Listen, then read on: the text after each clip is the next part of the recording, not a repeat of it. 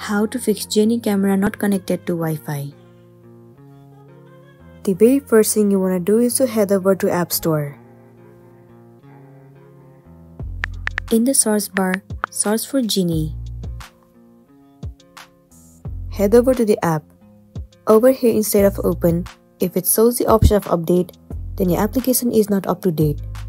And it might be one of the reasons that you are facing this issue. In this case, all you want to do is click on update and update your application to the latest version.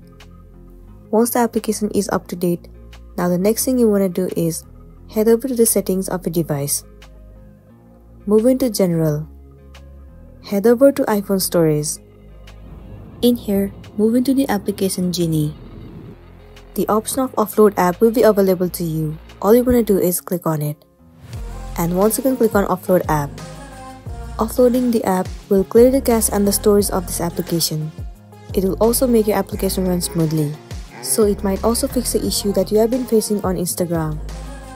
But if you are still facing the issue, then what you want to do is simply uninstall the application and reinstall it again.